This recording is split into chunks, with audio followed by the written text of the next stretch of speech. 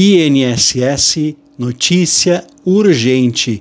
Governo Lula é denunciado. Vou explicar para vocês com maiores detalhes para quem ficou interessado, ficou interessada, porque está, é claro, mexendo com a vida daqueles que precisam do INSS.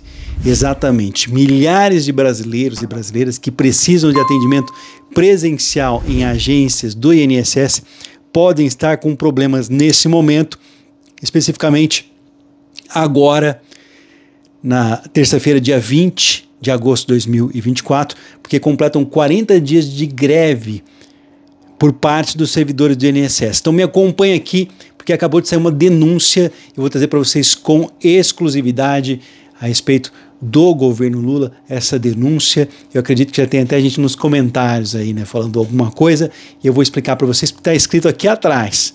Vamos lá? Sejam todos muito bem-vindos, muito bem-vindas. A questão aqui é bem simples. O que, que nós devemos fazer nesse momento? Usar o meu INSS digital. Exato, meu INSS digital. Muitas pessoas estão se perguntando, ué, ainda não recebi a carta do INSS para passar pelo pente fino, justamente por esses problemas que têm que ser resolvidos an resolvido antes. Quando não resolver esse problema, as pessoas não vão ser convocadas para perícia médica presencial, justamente por quê? Porque não tem para todos. Existem agências do INSS que estão fechadas. Então, para essas pessoas que estão na fila do INSS, a justiça é o caminho. Procure um advogado especialista aí próximo de você e parte para outro campo, vá para a área da justiça, resolver o seu problema o quanto antes, principalmente se você tem problema de saúde grave ou problema urgente financeiro, procure um advogado, porque somente com o advogado você vai estar tá podendo implementar lá na justiça, você que está na fila do INSS, um mandado de segurança, que é uma medida urgente. Então fica comigo até o final e se você tiver alguma dúvida vai deixar aqui, porque já começou o pente fino, começou por pessoas que estavam recebendo auxílio doença e prorrogando automaticamente, já estão com perícia marcada, agendada. Aqueles cuja perícia for mais de 30 dias de espera, automaticamente vão ganhar aí, no caso, vão conseguir uh, mais 30 dias, exato, vão conseguir 30 dias. No mais, as agências do INSS estando abertas já vão fazer pente fino, começou em julho, principalmente a pessoa que está recebendo auxílio doença há um bom tempo, sem perícia médica, porque estava renovando automaticamente. No mais, assim que né, nós tivermos a finalização dessa greve, as pessoas vão começar a receber a carta do INSS chamando para o pente fino. Então, no final do vídeo, quem está livre desse pente fino, nós vamos falar sobre esse assunto também. E já falando do BPC Loas, que não tem perícia médica. Olha que beleza, esse ano o BPC Loas não tem perícia médica, é só uma atualização no INSS e obrigatoriamente uma atualização lá no cadastro único do governo federal. Então tem pessoas do BPC Los que vão ficar totalmente livres. Quem? Quem já atualizou nos últimos dois anos seu cadastro e também aqueles que têm as informações atualizadas junto ao INSS. Então não tem perícia médica para pessoas com deficiência. Então vamos lá. Sejam todos muito bem-vindos, muito bem-vindas. Que Deus abençoe a cada um de vocês que está acompanhando esse vídeo. Os representantes dos trabalhadores pedem uma série de melhorias ao governo. A principal delas é aumento salarial, é claro, os funcionários do INSS querem aumento salarial, já que esse ano, já aqui para esse ano de 2024, o governo federal, no entanto, diz que não tem condições de conceder reajuste em 2024. Ele fez isso em 2023, promete conceder aumentos a partir do próximo ano. Em meio a esse impasse, o governo federal e os representantes dos funcionários do INSS né, estão aí, portanto, deixando o cidadão brasileiro preocupado. Muitos deles não conseguem realizar boa parte dos serviços presenciais que estavam agendados para as últimas semanas. Desde o início da greve, ainda em 10 de julho, o número de pedidos de reconhecimento inicial de direitos saltou de 1,3 milhão para 1 milhão e meio, uma alta de 11%. Ainda de acordo com as informações oficiais, desde o início do movimento grevista, já foram remarcadas 4 mil perícias médicas presenciais e cerca de 100 mil pessoas deixaram de ser atendidas. Não tem como fazer pente fino em meio a essa situação. E a greve do INSS, será que vai acabar? Então não dá para dizer que os representantes do governo federal, federal e os servidores do INSS estejam tentando encontrar uma solução. Na última semana foram pelo menos três reuniões para tentar chegar a um acordo e acabar com o movimento grevista o quanto antes. Mas nada foi feito na prática. De acordo com informações oficiais, o INSS tentou encontrar a solução, mas os funcionários não aceitaram a proposta que foi apresentada pelo Ministério do Desenvolvimento, ou melhor, Ministério da Gestão e Inovação e Serviços Públicos. Desse modo, o que dá para dizer nesse momento é que a greve dos funcionários do INSS segue acontecendo normalmente, sem prazo para chegar ao fim. Do ponto de vista do governo federal, o que eles estão podendo, fazendo aqui?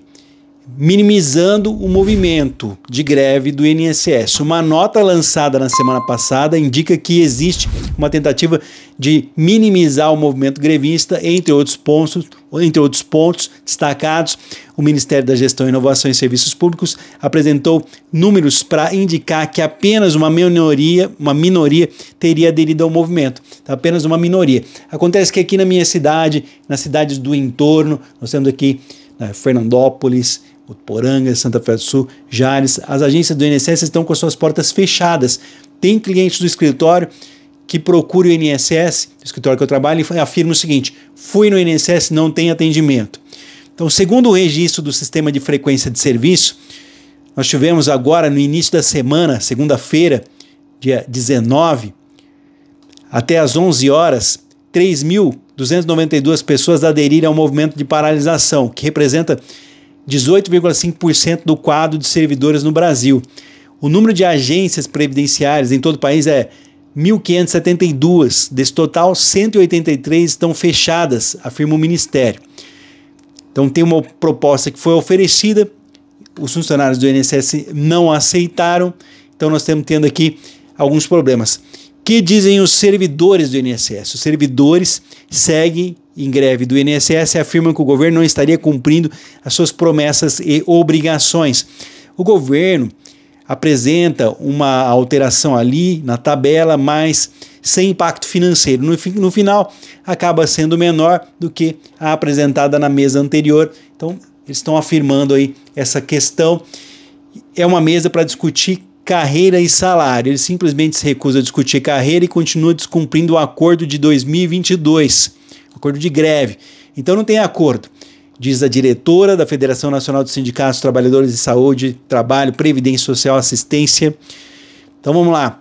As instituições que participam do movimento são várias, Federação Nacional dos Sindicatos Trabalhadores de Saúde, Trabalho, Previdência e Assistência, Confederação Nacional dos Trabalhadores de Seguridade Social, Sindicato dos Servidores Federais, Saúde, Trabalho, Previdência do Distrito Federal, Confederação Nacional dos Trabalhadores e Servidores Públicos, Federação Nacional dos Trabalhadores e Serviços Públicos Federal, Sindicato dos Trabalhadores do Seguro Social, Previdência Social do Estado de São Paulo, Sindicato dos Servidores Públicos, Saúde, Trabalho, Previdência Social do Rio Grande do Sul, enfim, todo o Brasil nesse momento o movimento grevista tem aumentado, está chegando a quase 20% de todos os funcionários. Nós sabemos que hoje, dos 19 mil funcionários que existem dentro do INSS, 15 mil ficam nas agências, apenas 4 mil estão nas análises, isso mesmo, e foram até pedidos para que eles fossem trabalhar, acabar com o teletrabalho. Em meio a essa situação que não tem fim, a greve só piora e atrasa ainda mais a realização de perícias médicas no pente fino do INSS.